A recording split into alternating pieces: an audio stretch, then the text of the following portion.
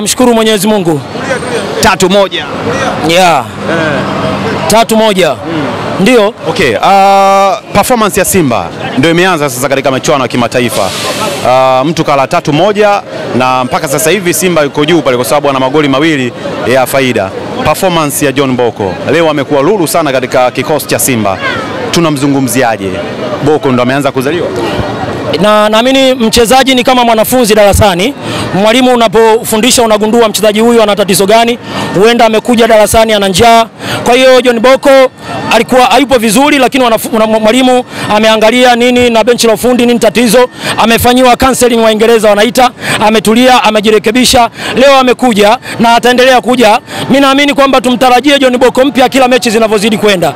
Kwa hiyo amefanya vizuri, tunamshukuru Mungu, amerekebisha makosa. Okay, um, mtoka hapa mnaenda kucheza mchezo wa FA ma- mara baada hapo mnaenda kucheza michezo miwili ya kimataifa ambayo Simba atakuwa anaikabili akiwa ugenini.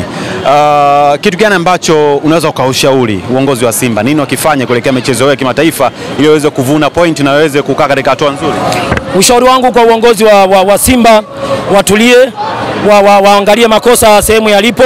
Yapo makosa madogo madogo ambayo tunafanya katika ushambuliaji, lakini wakae chini waangalie tatizo liko wapi. Mimi naamini kabisa wachezaji waliokuwepo ni wazuri na wachezaji bora na watatupatia ma, mafanikio makubwa katika msimu huu. Kwa hiyo ni taratibu, lakini wakae chini wafanye eh, wa, wa, wa, waangalie wachezaji makosa yako wapi, wakirekebisha naamini tutafika mbali. Kukosekana kwa Bernard Mawson naweza kawa ilikuwa ni pengo pia kwa Simba. Kipindi cha kwanza tumeona mashambulizi yalikuwa machache.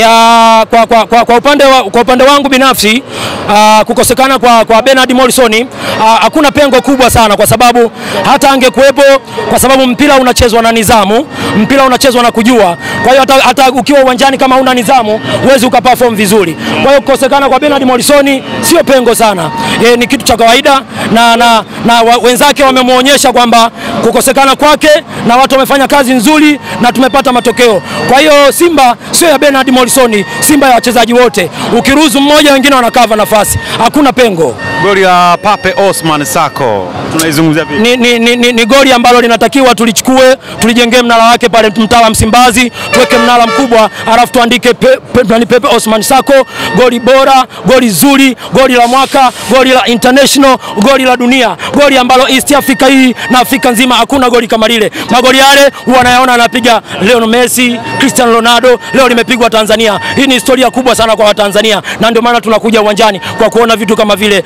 vinavyofanywa. Nikushukuru sana. Wale mzee. Kama kawaida? Kama kawaida mzee. Naitwa Rogers wa Simba hapa. Eh, ah, okay, mmeshinda goli tatu ah, kwa moja mchezo wa kwanza kabisa wa Simba. Njia gani ambayo unaiona kwa Simba kupitia uh, michuano ya kimataifa? Ni njia nyeupe, huu ni mwanzo mzuri. Tumeonyesha mwanzo mzuri na timu imecheza vizuri. Tunashukuru Mungu kupata pointi zetu tatu leo na amani, tunapoelekea kwenda kwenda kuingia mpaka kwenye fainali sasa. mm. Na ina imani kama tukienda vizuri mwenendo huu Simba anachukua atachukua hii ndoo. Okay, uh, tumeona performance ya John Boko leo ilikuwa ya hali ya juu kabisa.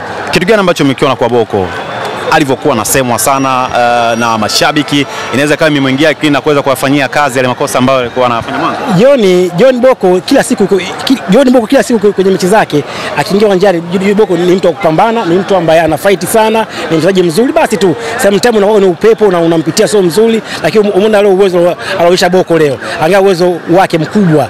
Ni, ni mimi nasema ni, ni, ni kipindi tu ambacho achopitia ni, ni cha mpito, lakini Boko anarudi vizuri na ligi ikishukuta inaanza duru la pili, na imani atafunga vitu vingi sana Boko. Nikushukuru sana. Asante sana.